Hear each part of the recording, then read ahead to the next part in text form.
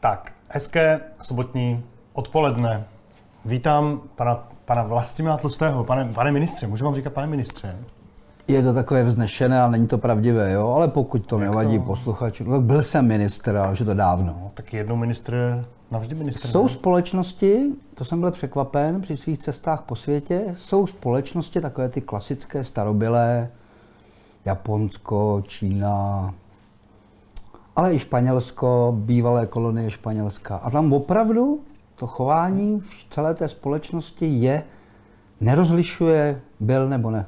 Už není, to nevadí, prostě pořád, jednou tam byl, je to jeden z nás. No, takže, takže, se, takže se vlastně v civilizovaných, v civilizovaných eh, okruh, okruzích se ministrům říká pane ministře, ne? A velvyslancům vaše excelence a tak? Já jsem o tom trošku přemýšlel a vím, proč to v Čechách je úplně jinak. Oni tam v těle těch zemích, no, některých taky měli, ale my máme takovou pohnutou historii, jo? Tak napřed husité, jeden převrat ve společnosti, skoro bych řekl společnost z hůru nohama. Na chvilku. Na chvilku, no na chvilku, no tak na pár desítek let. No. Pak 30 eh, letá válka, zase společnost z hůru nohama. Pak uh, německá okupace. To už nebylo na chvilku. Sice jenom na kolik? Sedm, sedm let. No, my, vy myslíte Habsburky napřed. Aha, jo, jo, jo, takže napřed, ano. Napřed císař pán, ale pak já myslím teda tu, tu sedmiletou hmm. okupaci během druhé světové války, no pak nástup komunistů, a, a ono to v takém typickém Čechovi vytvořilo dojem, že tady každý může být prezident. A to oni tam v těch zemích si nemyslejí. tam, když nemáte tu dlouhou historii a nejste vlastně prověřený tou historií, že už pradědeček byl spolehlivý, pracovitý, chytrý, dědeček taky, tatínek taky, tak z vás něco může být. No. Tam to platí, tady ne. Tak u nás se teda vžilo jenom to prezident. Že se jako říká, neříká se ex-prezident Masaryk. Že jo? Říká se prezident. Říká se prezident, ale neplatí to jenom u jednoho, nebo možná vlastně u dvou uh, bývalých prezidentů a u té jako části společnosti, která uh, jsou takový ty liberální demokraté, kteří kteří uctívají demokracii a respektují výsledek voleb pouze za předpokladu, že vyhraje ten jejich kandidát. Ale takových když ne, tady máme hodně. No, takových tady to máme To jsou vlastně hodně. nedemokraté. Já jim Oni říkám, byli... že jsou jako liberální demokraté. Ne, ne, ne, to jsou nedemokraté. To je, to je správný pojem. vy jste upřímný, Když jako... někdo usnává jenom své vítězství, tak to není žádný demokrat. Ale v Americe si říkají demokraté. Tady ti to nedemokraté. To je velký problém dnešního světa. Terminologie. No. Ehm, já tomu dokonce říkám myslivecká latina. Jak, eh, jak oni ty komunity si schválně vytváří pseudopojmy, za kterými je skryt, za krásnýma pojmama je skrytá vošklivá realita. Protože to obtížného, typický... obtížného tématu je třeba zbavit se hned v nadpisu, že jo? Potřebujeme spoustu malých dětí, které by vykřikly císař je nahý. Takže to pak dopadá, že... To je slovo... taky terminologie, jak říkali, že má krásné šaty. Hm? Jo, jo, jo, to je taky... Lidi se to naučí, neříká se, že císař je nahý, říká se, že má krásné průhledné šaty. No já pořád čekám každým dnem, že konečně se najde někdo, kdo začne křičet, že vlastně ten císař je nahý dnes. To už že... jsem řekl, no, ale je nás málo, to je pravda. Co no, to jako potřebujeme těch dětí hodně. No, hodně pravda. dětí potřebujeme, no. Protože císař je nahý, Uh, ten náš, jestli myslíme našeho pana předsedu vlády a našeho pana, nejlepší, prezidenta, nejlepší, našeho pana prezidenta, to jsou dva nazí. Nevědí o tom teda. Eh, protože jim to nikdo neříká, no. Ale Říká jako... jim to asi, ale tomu nevěří. Ne, jim to nikdo neříká. Ne, myslíte, že mají ne. takový okolí, že to profiltruje? Ne, to... Viděl jste to, my jsme, teda, vy jste to nemohl vidět, my jsme tady měli eh, s kolegou Filipem v noci takový noční prout a pokoušeli jsme se velmi seriózně, velmi seriózně eh, analyzovat tady poslední počin vaší bývalé politické angažovatelky, neboli ODS, která vlastně v dvou letech... Já rovnou řeknu, s těma já už nemám nic společného. Jo, vůbec. Oni, oni jsou právě opak. Oni, kdybyste se zeptali jich a mě na deset klíčových věcí, já vám garantuju, že všech deset je obrácení. No, tak my jsme, ne, já nebudu se k tomu vracet, kdo, to, kdo jste to neviděli, tak se na to radši nedívejte, co jsme tady páchali, páchali s kolegou Turkem, já si to naštěstí nepamatuju, takže co si nepamatuju, to se stalo vám, ne mně, jo. Ale když jsme u toho o té ODS, vy jste kdy eh, vlastně opustil strukturu ODSky? To je tak 2009, ne? Nebo... Formálně ano. No, jako... Ale fakticky vlastně jsem začal být na odchodu, pak jsem na tom odchodu byl roky. Eh, ve chvíli, kdy tehdejší předseda vlády, poté, to je důležité si na to vzpomenout, kdy ODS ve volbách 2006 získala necelých 32% volební výsledek. To bylo víc než 32. Tak hodně prostě, jo. Já, ne, já si nejsem ne, to bylo 35 skoro. Tak, to bylo podle mě nejvíc... A, vys... Abych se nenutil k nějakým přesným... Ale to bylo vaše vítězství, jo? Ano, to bylo... No, 32 to, měl Paroubek. V tom už se lišíme. A vy jste měl 35? 35, no.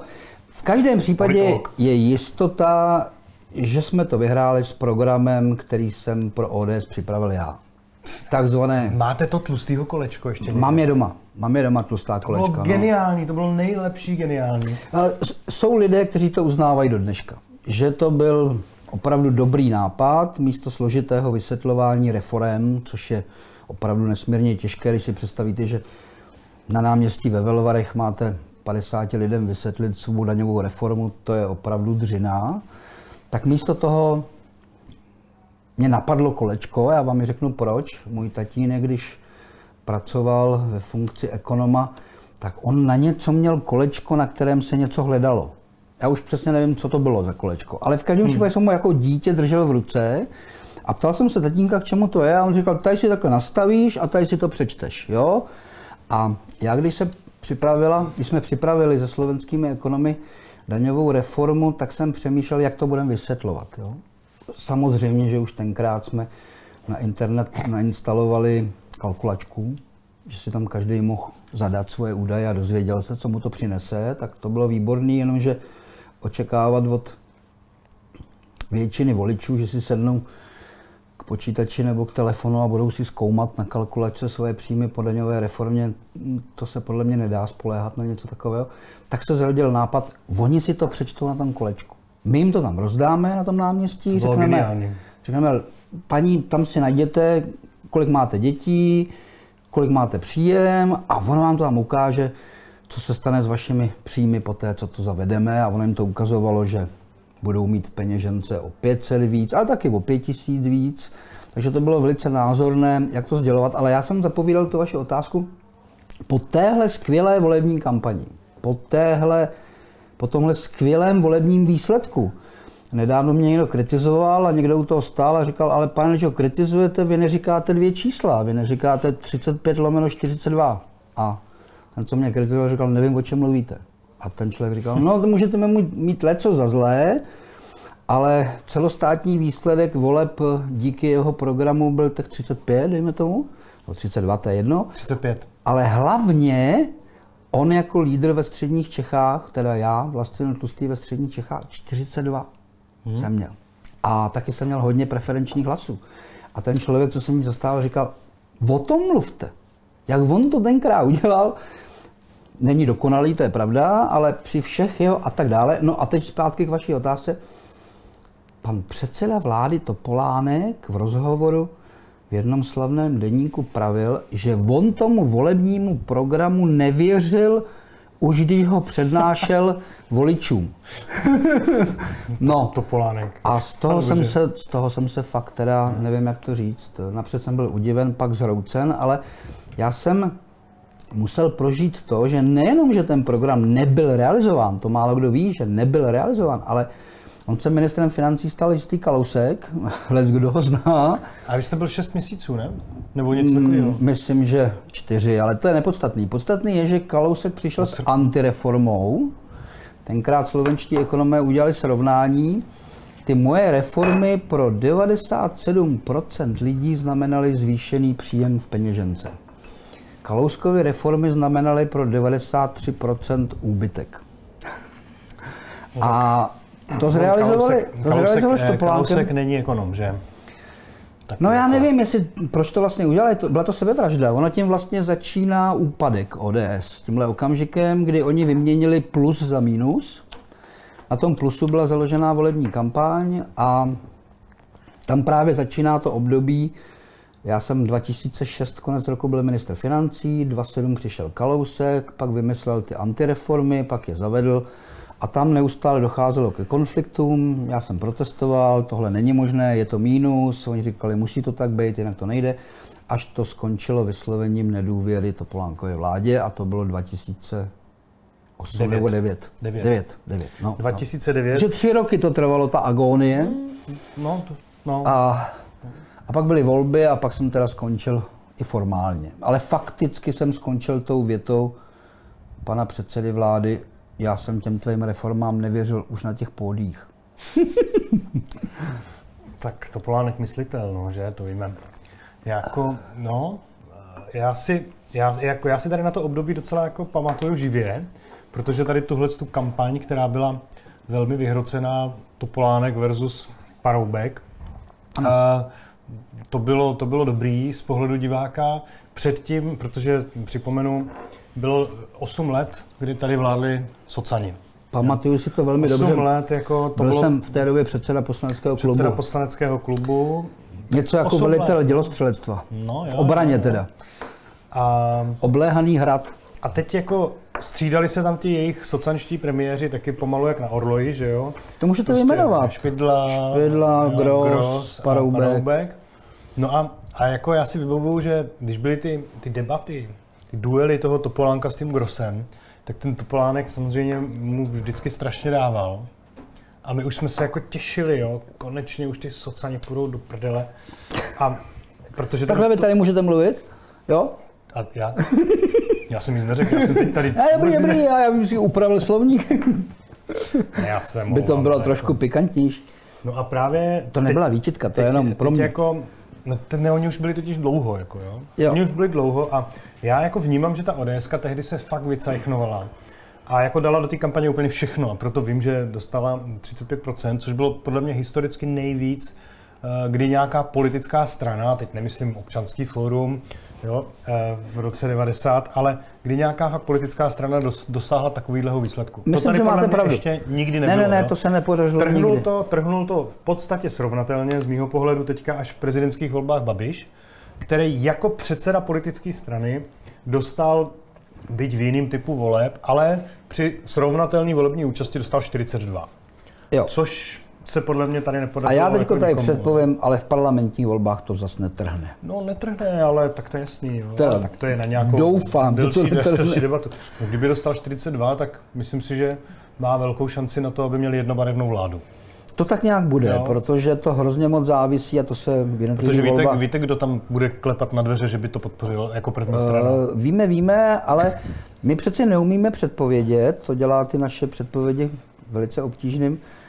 Propadne 4,5% u jedné strany, nebo u dvou, nebo u třech, nebo dokonce u čtyřech, jako to bylo minule. Hmm. Protože jakmile se přepočítává skoro 20% propadlých hlasů, no tak z toho vám pak jednoduše vyjde, že výsledek na 40 už vede k jednobarevné vládě.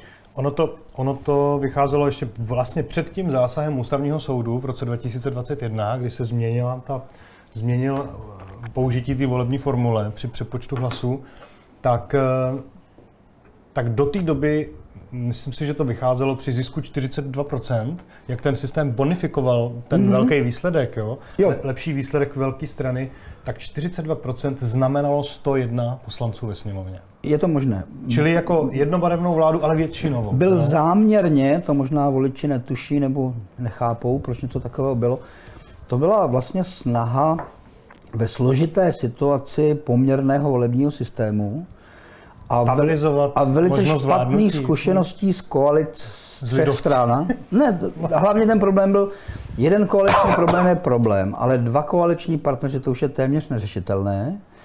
Ostatně to je jedna z mála polehčujících okolností, kterou mám pro dnešní vládu. Prostě takhle složitá vláda z tolika politických subjektů se velice špatně řídí a velice špatně koordinuje.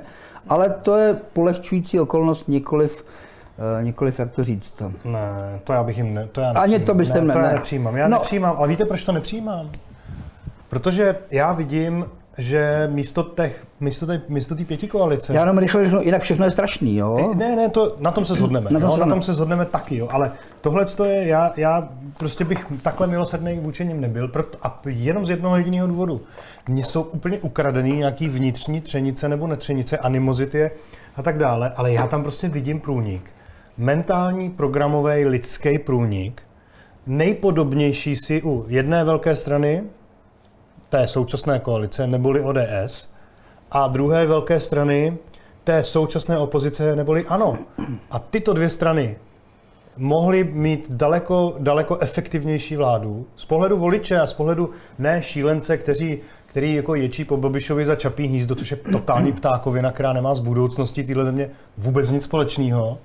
Ale naopak eh, zase oproti tomu, že, že pak jako se dostanou do vlády v podstatě zelení marxisti, a teď je jedno, jestli mluvím o TOP 09 anebo o, o Pirátech, jo.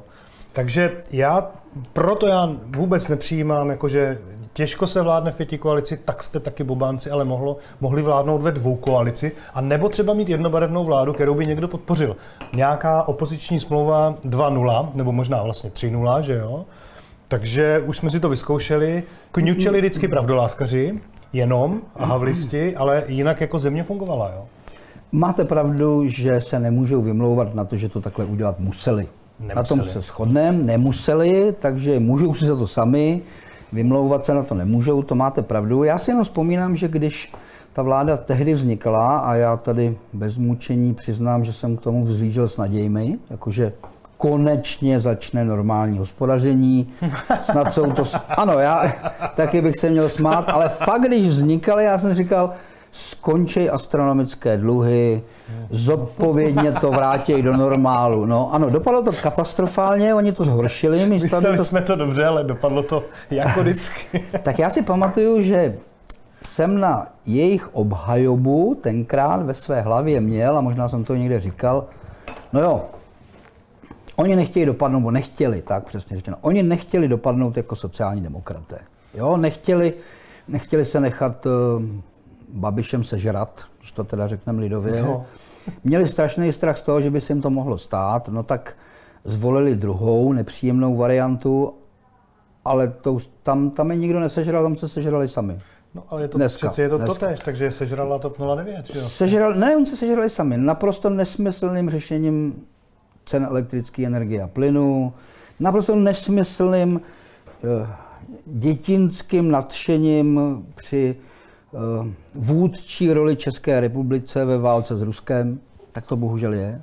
Ano, podílnictví na každé válce, která se někde vede. Dominantní role eh, nic jiného než dětinství a idealismus a nevím, co jiného k tomu nevede. Racionální člověk si přece musí klást otázku, co mě to bude stát, co tím můžu získat. Je tam trošku vyvážený to, co to bude stát a co získám. Teď se přeci blíží okamžik, že se ukáže, že to stálo stovky miliard korun a nepřineslo to nic. Jo, nic, nic, nic. Já teď pozorně sleduju všechny zprávy z toho, jak se to tam vyvíjí a čím dále je jasnější, že budou muset zkusit obhajovat, že proinvestovali stovky miliard a na konci je nic. No, ale byl to trošku experimentík. No, ale jako Ale zase, to je osudový experimentík, po kterým, já jsem tady jednou říkal, někdy jsem si to přečet, že když se stanete hnacím motorem nějaké války, jo, ne, teď nemyslím, ah, abych uvedl příklad, rumunské jednotky u Stalingradu, jo, to nemyslím, to není hnací motor, jo, Jasně. ale když se profilujete jako jeden z těch hlavních účastníků, vytváříte naději, že to vyhrajete, uh, uděláte si z toho téma číslo jedna, to je důležitý. Vlastně nebylo nic důležitějšího pro tuhle vládu, než, uh, teď hledám slovo, uh, fakt mě nic nenapadá, žádný slušný, já, já to tak, tak to řeknu, jak mi to napadá, oblbování lidí, já jsem viděl na internetu, jak už se tam lidi parcelují v Moskvě teritoria, jo, no to přece může udělat jedině zblblej člověk. a co je tam, že vede, jako teď patří na západ, ne? Tak co si rozdělují Moskvu, teď to je jako... No takhle je to, pro mě je to příklad zblbnutých lidí, jo. Když už někdo dojde tak daleko, že hledá tu zónu, ve které si něco pořídí, až to, to Rusko prohraje, tak jsou to totálně zblblí lidi. No ale co tím chci říct? Oni z toho udělali téma číslo jedna. Taky se podívejte, a já jsem zděšen, kolik lidí na tuhle vlnu naskočilo. To je přeci strašné. Já bych si myslel, že při tak chytrým národu, jako jsme my Češi a Moravané, se takhle zblbnout nechá co? Pojďte to odhadnout. 3, 5, 7% lidí. Víc bych si nemyslel. Že ten zbytek si řekne, mámo, hele, není to nějaký divný? V té Moskvě jako, asi nic pracovat nebudem. To, to si myslím, že, eh, že je jako obecně, obecně platný postoj. Jo? ale má to trošku i výjimky. Výjimkou je uh, sentiment a v podstatě mindrák, mindrák tak, lidí, kteří dneska takový... bojují proti komunismu, protože v roce 68 nebojovali. Já to takhle tohle, to, neumím. Tohle to se živí jako v té společnosti. Jo? Já, já k tomu musím říct, pro mě ten stav, ve kterém tolik lidí se začalo těšit na porážku Ruska, pro mě to překvapení. No ale ty, jako, pro, no, ale jasně, teď já to je, je to iracionální, ale... No, no, no, teď přeci přichází fáze, ve které ta vláda se bude muset pokoušet, já teda myslím, že to nepůjde, jo? Bude se muset pokoušet vysvětlit těm zklamaným lidem, ani ne tolik těm, co říkali, že je to blbost, jo? Ty, ty řeknou, no, jsme to říkali, je to jasný, tak ono to tak nedopadne. Já bych tady asi měl citovat já se tady hodně opírám o prohlášení Andora Šándora, kterýho já považuji za prvé za slušného člověka a za druhý za kvalifikovaného člověka. Je to generál, který se těmhle věcem věnuje dlouhodobě. Já ho navíc osobně znám, proto ta důvěra k němu. On někde, nevím jestli u vás, možná u vás, řekl, je mi to hrozně líto, vážení posluchači. Mě to, takhle to hezky říkal, jo, takhle procítím, mě je to strašně líto, ale Ukrajina Rusko nemůže porazit. Jo, takhle to říkal. A já jsem si to zapamatoval a říkal jsem si, bacha, musíš to sledovat. Taky jsem měl na internetu jednoho pána, nebudu ho jmenovat, ten byl cený tím nadšením. To byl jeden z těch pořád, a do dneška on pořád zveřejňuje nějaký schořelý stíhačky a rozstřelený tanky a to je úplně člověk, u toho jsem to asi neviděl, ale mohl to tam mít, jako tu svou parcelu v té Moskvě, jo? Tam, to, to by tam patřilo k němu. No, tak to všechno sleduju a vidím tam ten posun přesně podle té věty generála Šandora. Když se to nedá vyhrát, tak je potřeba to nějak Jo, nějaký mírový jednání, nějaká demarkační linie. Příměří, konec, ať, ať rovnou no, neříkáme mír, jo? Rovnou příměří, ano, tím to začíná. A, a už tam necpa dalších 100 miliard, jo, když nemáme co vyhrát, no. A to má teď ta vláda před sebou a... Podle mě nemá. Tadle ne. Tadle ne. Eh, já jsem kdysi jako kluk rád vydával filmy o Janu Husovi a Janu Žižkovi a tam je někde scénka, jak ten Žižka ubrání proti křižákům s těma vozama, s troskou lidí proti těm křižákům. A, a když už ty křižáci prchají, tak on říká, děti, koukejte, už běží. Tak eh, já jsem si to včera uvědomil, ta chvíle Děti, koukejte, se, už běží, no. Ta chvíle se blíží. Jo, ale, jo, ale já teda si myslím, já vím, že to blí, nikdo... blíží se volbama, ale doufejme, jo. Jo, jo, jo, jasný, samozřejmě. A to, no. a to právě navážu na to, co jste říkal, jo. Vracím se k tomu, vy říkáte, ten hnací motor. Jo? Já říkám, buď to je něco hra, hnací motor, byly hnací motor. A nebo je něco zástěrka. A já, to je jestli náhodou, jako ten hnací motor nejsme proto, že tady bezcená Pekarová, nebo já nevím, nějaká jiná politička z vládní strany, eh, neví, co by jinýho říkala, neví, co by jinýho dělala, tak je hnacím motorem nějaký války někde. že nemá lepší téma. No, no, no, no. Ona nemá o čem mluvit. Přesně tak, jo. Na to já vám řeknu, to tak klidně může být, ale já to neskoumám. Jo? jo jako já, pokoušet já se v hlavách těch lidí, přijít na to, co tam tomu vede, to už jsem mnohokrát říkal, jsme jako kluci říkali, buď je hloupý nebo navedený. Moderně bych tomu ještě dodal, nebo zainteresovaný.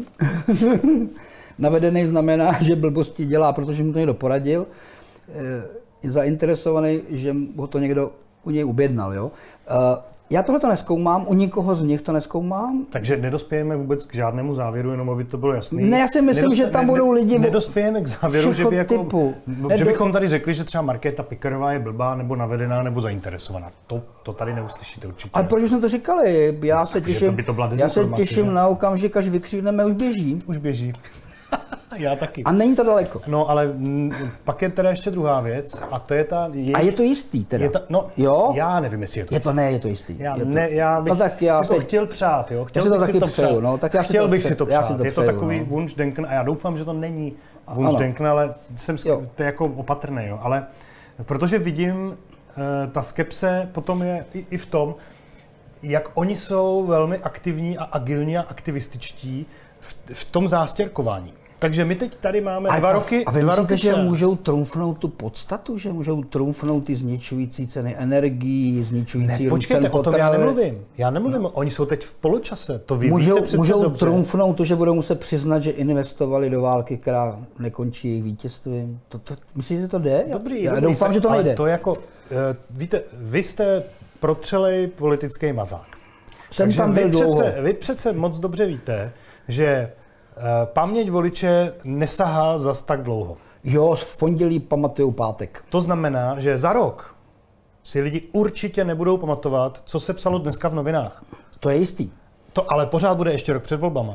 Jo, takže já bych jako uh, ubral v tak, tom... Tak já teda řeknu... Ale moment, se... já jsem jako chtěl se na to dívat z druhé strany. Vy teda říká, to, co říkáte vy, je naše společné... Já tady namaluju optimistickou variantu, jo? Manželka mi říká, musí říkat něco radostného. Dobře. A já Pojď... pak řeknu to pesimisticky. Podívejte, jestli v té ODS bylo pár chytrých lidí.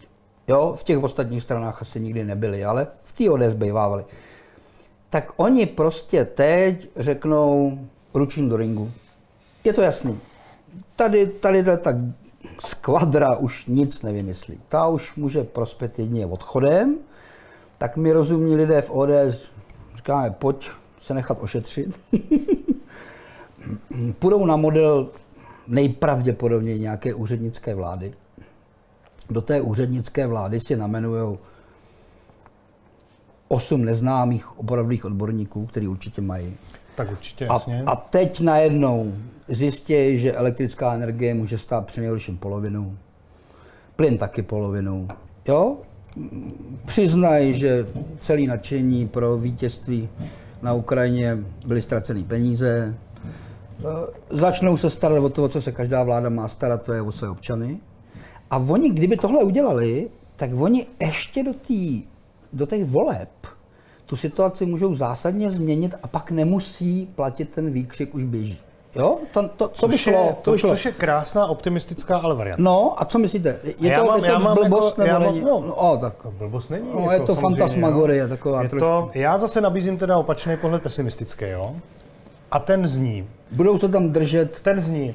Máme 109, máme většinu i v Senátu. Máme, Stejně končíme. Stej, jako končíme, je to celý v háji. A potom tom, Kupte si všichni něco, farmy v Uruguayi. A teď řeknou, Eh, jsme v půlce, takže musíme stihnout přijmout euro, musíme stihnout zavést korespondenční volbu, musíme r- r- aspoň zaplatit ty stíhačky, i když nám je ještě 10 nebo 20 let nikdo nepošle. Aby provize byly na cestě? V Americe se tomu říká back fee. A je to legální. Jo, U nás to legální jo. není. Já se to jo? naučím. A back fee se říká v Americe, ty zbrojařské firmy oficiálně dostávají. Takže já nevím, jestli z těch 300 nebo kolik to bude miliard, někdo dostane u nás nějakou backfee, ale takže oni řeknou po nás potopa, a tohle všechno musí stihnout. všechno. No. A, jo, a teď jako, mě, mě na tom strašně děsí, že jako sledovat, jestli ta pesimistická varianta bude blíž té realitě proto, že tohle to jsou všechno věci, ze, kterýho, ze který nás tuhle zemi jako za sto let nikdo nevyváže. Zatímco, když by udělal někdo Ale jenom jo, sérii může, blbostí. Může přijít nová vláda a všechno to zrušit? No, ano i ne. Zaplatí jo, ano penále i ne, za zrušenou zakázku. Jasně, jasně, jasně, ale... Od, vytáhne z trezoru starý bankovky. Ale tak víte co, vy, vy víte, jste ministr financí, že já jo? Teda, já je, jak je obtížný vystoupit z ERM2? A já, neříkám, že to nejde, jako v žádném případě, ale každým krokem, který nás tady soudružka Pekarová, prostě soudružka chceme euro, protože, Oni, protože už to všichni mají, jo. Já vám skočím do řeči. Oni nás ale jednu věc naučili, jo, úplně zásadně novou že se dají dělat věci, které dříve nebyly možné. Jo, No. že uměl, uměl jste si představit, že někdo bude chodit a bude říkat, že potřebuje úřad, který bude posuzovat, jestli to, co říkáte, je v pořádku? Já jsem si to neuměl představit. No, Tak no, to, jako, byl jsem dítě, ale pamatuju si, že něco takového bylo, ne? no to jo, tak samozřejmě, že před 89. to bylo, ale teďko v, v naší nové historii by mě nikdy nenapadlo, že s tím někdo přijde. Jo? Oni s takovýhlema, eh, jak, jak to nazvat, zlomovejma nápadama přicházejí a přeci tím říkají, a to je to, co chci říct pozitivní, na hrubý pytel hrubá záplata. Když oni s tím přichází, ty, co se proti tomu budou stavět, a já tady říkám, když by to, co vy popisujete, udělali, a já musím přiznat, to není vyloučený. Ne, to není vyloučený. To, vy jste bohužel o té mý variantě neřekl, že není vyloučena, ale... Já jsem ale, řekl, že to je naše společné Ale- Wunschdenken. ale já uznávám, že ta vaše strašná varianta není vyloučená, ale vím, co bychom dělali my, který považujeme za katastrofu. My bychom normálně našim voličům říkali, podívejte, je to jednoduchý. My to všechno zrušíme. My- jo? my, to, my taky. my to zrušíme. Ne, my to musíme zrušit. Vážení voliči, bude to drahý, jo? Ale bude to levnější, než to nechat. ale nechat to dlouhodobě působit je tak strašná škoda, že radši jdeme na ty krátkodobé škody, pryč s tím, pryč se všem tím, co jste vyjmenoval, pryč s eurem, Víte, já... Jako, no já, a já pošlou vždycky- nám sem nějakou armádu, která to tady bude... No, možná jo, ale... Pošlou, jo? Možná jo, ale... Ne, nemají, naštěstí. No, za- zatím, naštěstí ještě ne, ale už se to přibližuje. No tak ji budou mít, tak je to potřeba se, udělat. Teď se hlasovalo, teď se hlasovalo na konci listopadu ve Štrasburku eh, a bylo to pěkné hlasování v Evropském parlamentu, který jako vždycky předpovídá to, o co se bude potom ta, ta Evropská komise snažit a tam je to už opravdu Evropská armáda, vynucování si poslušnosti jednotlivých států, které nepřijmou to, co se přijalo. Takže tedy federální no, armáda, ano, jako federální federalizace. Uspořádání, federalizace, no, a, e, zrušení práva veta, k tomu patří to, jak se to panu no, no, pan premiérovi líbí, nebo prezidentovi. No, No, no. I premiérovi se to určitě líbí, protože Jo, on, jo. když to zruší, tak za to bude pochválený v Bruseli, že? Já mám vysvětlení, to jsem párkrát říkal, ale viděl jsem, jak to lidi nechápou. Víte, proč jsou vždycky v zemi lidi, kteří dávají přednost vládě cizáků? No, proč? Protože ty cizáci k tomu vemou. Já teda No, tomu říkám kolaboranti, no. jo? A No, protože oni bez těch cizáků by sami nevládli. Tak oni přijdou na to, že je to lepší, je fakt chytrý, no. že je lepší pomoct cizákům, který vás tomu potom, nebo je teda, který k tomu potom vemou. A to bylo vždycky. To, Takže jako, pokud jsou lidi Takže překvapení, jsme v situaci, jsme v situaci českých dozorců v Terezíně. No tak jsme v situaci, já jsem třeba s velkým zájmem sledoval film o panu Čapkovi, o, jeho, o tom jeho strašném odcházení z tohoto života, že on odcházel jako urážený, uh, jak to říct, decimovaný člověk, protože on nechápal eh, blaho Třetí říše, netěšil se na to, až u nás ta Třetí říše bude taky a dělal všechno pro to, aby tomu zabránil a dočkal se jenom nenávisti, co tím chci říct, no prostě lidí, asi se to musí říkat kolaboranti, jo? Kolaborantů tady bylo vždycky dost. Jo, za Rakouska, Uherska, vždycky tady byla spousta kolaborantů, vždycky jich bylo pomalu třetina, nic novýho, no ale ty dvě třetiny, sice Akorát- po nějaký době, ale nakonec to zvrátili. Akorát teda, um, akorát teda ty kolaboranti tady byli, ale za posledních 34 let eh, vládli jenom dva.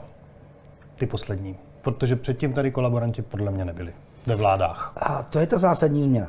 A já jsem třeba zásadně neměl rád vlády sociálních demokratů. To jsme asi jako... Jak jste vyjmenoval ty špidly, grose, paroubky, já jsem ty jejich nápady považoval za zničující Ale Zemany jako pro celou jo, společnost, jo, zničující nápady. Ale Ale to kolaboranti. férově musím uznat, oni to pro žádnou cizí mocnost nedělali.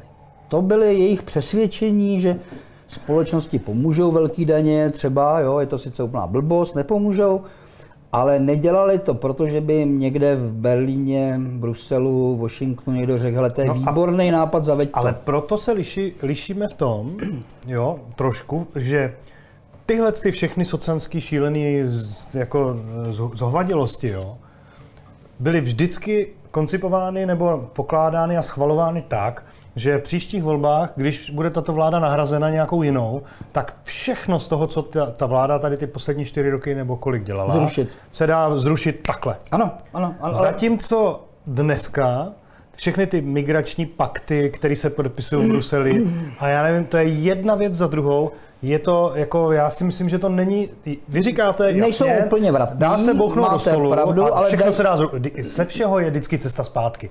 Ne, n- v některých případech není ta cesta zpátky stoprocentní, to máte pravdu, jo?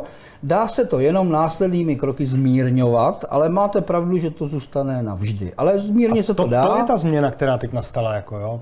Ano, ano, takže aby jsme byli naprosto A, aby jsme byli vůči vládě korektní. Kdyby je napadlo zavést euro, my vám tady dva říkáme, my ho zrušíme. Přesně, my, my jim ho vrátíme. My Nechte si to. Jo. necháme vytisknout znova český koruny a Jako em, mimochodem, Česká republika v podstatě jednu demontáž měny už zažila a šlo to přece úplně hravě. myslíte rozdělení federace? Ano, přece byla česká a slovenská koruna. Oddělili se od sebe měny, čili neřík, nikdo jako nemůže říct, že se nezbavíme eura, který, máme, který možná budeme mít pár měsíců v papírové podobě. My jsme tady měli československou korunu desítky let a Pro... možná si toho lidi ani v ten moment nevšimli, že se tam měna A rozdělila. Víte, ona je to už víc než 30 let a tak já tady se odvážím říct, kterou jsem, věc, kterou jsem tenkrát pochopil, ale říkal jsem si, asi to radši nikde nebudu vyprávět, jo? Ale byl jsem na to tázán všude vš- při všech zahraničních cestách. samozřejmě nikdo na to nekoukal, takže to klidně můžete říct. můžeme to říct, no. A Tehdy všude, kde jsem s kým mluvil ze zahraničí, říkali, jak to, že Československo je ta vzácná výjimka, kdy není válka, zatímco všude jinde, kde se to rozděluje, válka je. Protože ono to bylo přibližně v tu samou dobu, jako se rozdělovala Jugoslávie a tam se děly strašné věci. Hmm. A já jsem tenkrát byl nucen o tom přemýšlet a říkal jsem, no, je tady jedna odlišnost, jsou dvě teda, jo. Za prvé existovala dlouhodobá historická hranice. To bylo velice důležité, že se přibližně vědělo, kde je hranice mezi Českem a Slovenskem. Ale druhá zásadní okolnost, odejít z toho společného státu se rozhodli ty, co dostávali desítky let obrovský peníze. Příjemci. Všude jinde vždycky odcházeli ty, co to platí. Jo? Podívejte se třeba snaha katalánska odejít ze Španělska, to je úplně klasický příklad, odejít chtějí ty, co to platí. A říkají, my už ty líní a málo pracovitý platit nebudeme. Jo, to je, oni je nechtějí pustit teda, jo, to Španělsko. Přesně z toho důvodu, že ty jejich peníze potřebují. No ale přeci to Slovensko bylo totální příjemce obrovských peněz z té hmm. českomoravské strany té federace a chtěli odejít. A já si pamatuju, jak jsem to řekl nějakému Američanovi a on říkal, počkejte, počkejte, ještě- ještě jedno. Ty, co dostávali peníze, chtěli odejít? Říkal, no, no tak to už se nedivím, že v klidu odešli. Jo, v klidu odešli, ty, co dostávali peníze, chtěli odejít, ty, co to platili, řekli, dobrý. Tak když chcete, Dobrý. A žádná válka kvůli tomu nemusela být. A žádný protivenství kvůli tomu nemuselo být. Takže proto i úplně v klidu se oddělovala měna. a to, to vlastně to byla neudálost. ale A mě docela mrzí, teď řeknu jednu věc. Dneska je spochybňováno, že oni chtěli odejít. Jo, No. no. tak některý nostalgicky vzpomínají na to, že by to bylo bývalo lepší, kdyby neodešli. A já k tomu říkám, jo, bylo, ale problém byl v tom, že chtěli. Nebylo referendum, jo, takže to neprávo platí. Ale chtěli. Víme jistě, že chtěli. Ale referendum bylo. Referendum přece bylo a byly to volby v červnu 1992, kde eh, byly strany i na Slovensku, byla No, jedna strana, jmenovala se ODS, Jasný. která já jsem, já měla jsem tam, zachování federace. Já jsem, prosím pěkně, pane kolego, tam dělal kampaň. Já úplně teďka- marnou. Pamatujete si tehdejší mluvčí ODS na Slovensku? To si nepamatuju, ale pamatuju si tu marnou kampaň. Nějaká paní Radičová. Aha, no vidíte Byla to. tisková mluvčí ODS na Slovensku. No ale jako byla to marná kampaň. ODS tehdy měla program Zůstaneme federa- federací a neuspěla tak dramaticky, že se nedostala ani do, do Asi Slovenské dvě- národní 2% rady. to získalo, Bylo to, no. No. Takže vlastně všechny ty síly, které měly v programu zachování té federace, To máte pravdu. všechny prohrály a všechny ty síly, ty, které říkali konec, tak ty vyhráli. A to je podle mě, to je jasný referendum. Musím vás pochválit, to jsem ještě od nikoho neslyšel a je to přesně tak, jak říkáte. Referendum vlastně bylo parlamentní volby 92 jasně ukázaly, že většina slovenské společnosti a veřejnosti si přála být na Čehůnoch nezávislá. Já děkuji za, za tu pochvalu, ale musím vám teda zase, musím vám teda říct, že jako tak dobrý nejsem. Já jenom pracuji, pracuji v institutu Václava Klause. Tam jste to nastudovali? Tam, no, já jsem to nepotřeboval studovat, ale za posledních 15 let jsem byl pravděpodobně asi úplně u každého rozhovoru osobně přítomen, který dělal bývalý prezident nebo tehdy současný prezident Václav Klaus. A ono vždycky tak po pěti letech se vynoří Česká televize, že je zase výročí tu 15, tu 20, tu 25, teď bylo 30 let eh, od rozdělení Československa. Takže já těch rozhovorů, které Václav Klaus poskytl médiím u příležitosti výročí rozdělení Československa a o tom, jak to bylo a tak dále, myslím, že jsem jich fakt zažil takových určitě aspoň 50. No vidíte. A já a, jsem žádný neslyšel, to je tak, moje chyba. Tak to zase Teď jsem vás chtěl pochválit, ale vy si to kazíte. Proto, proto vás teď můžu chválit, když jsem to neslyšel od pana prezidenta. Po, podíváme, se, podíváme se, já vám potom dám knížku. Teďka jsme, my jsme vydali knihu loni uh, 30 let od Willy Tugendhat. Mm-hmm. A je to zase, já, já teda musím říct, ten, jako u toho prezidenta, jo, že člověk si tak řekne 50krát slyšel stejný rozhovor na stejný téma ně, o něčem, co se stalo před desítkami let. To znamená, na tom už není možné říct nic jinak nebo nic nového. Tak já teda fakt zodpovědně říkám, že 50krát to bylo vždycky úplně jiný. A i teď, když prostě člověk by řekl, tak po 25 letech napíšu text o tom, po 30 letech napíšu text o tom a porovnám to, tak člověk by řekl, že to je asi stejný ty texty jsou opravdu úplně jiný, rozdílný z jiného pohledu. Takže dám vám knihu 30 let od Willy Tugendhat, kde jestli vás to Ten bude někdy uvidíme. zajímat, jako to bude, to je zajímavé. Podívám se, jestli nám tady nepřišly nějaký dotazy. Někdo tady píše, Ptají se na pana Milhouse Motumba chce pohlednici s podpisy všech, pokud to, možno i s veleknězem. No to bude Xaver, to můžeme splnit. Jo, tak to tady podepíšem toto? Jo, jo, jdem na to. Tak já tady podepíšu se nad sebe, jo. Jo. A vy to někde tam. A já se podepíšu do E. E. Tam budu hezky vidět. Tak, necháme podepsat i další. Dobrý. Jste se podepsal nad pana doktora Pikoru. To jste si vybral. A my s panem Pikorou máme, tak bych řekl, ze 100 otázek 98 No, 95, radši řeknu stejných odpovědí. to já si troufám říct, že to mám s panem doktorem Pikorou podobně. Jo, takže byl tady dneska. Byl tady dneska, ale byl tady nějak uh, strašně brzo ráno, takže musím se na to podívat zpětně. Takže zdravíme Milhaus Motumba. Poli píše, když už je Pepa prezident, bude i generálním tajemníkem UVKSČ nebo ODS TOP 09 KDU stan Pirátů? Ne, nebude. On bude generálním tajemníkem podle mě OS, OSN nebo NATO. Oh, já za, jsem za, za dobré služby. Ano, ano, ano. To si Ale myslím, ten generální že... tajemník tam jako... Ano, generální tajemník NATO, to si myslím, že je přesně ten sen, který ho vede jeho konáním. To jo, to jo.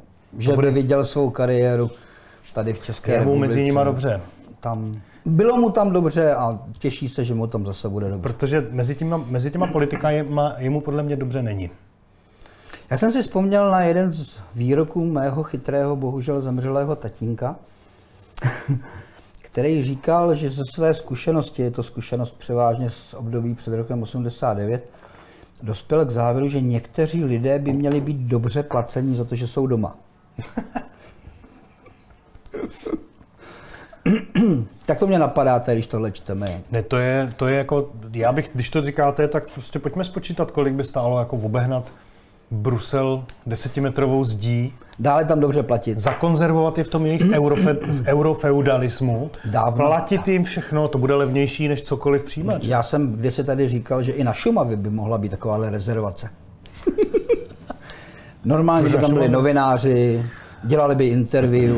Sami se sebou. Vy, vysílali by do zdi. Do vys, zdi. Vysílali by signály.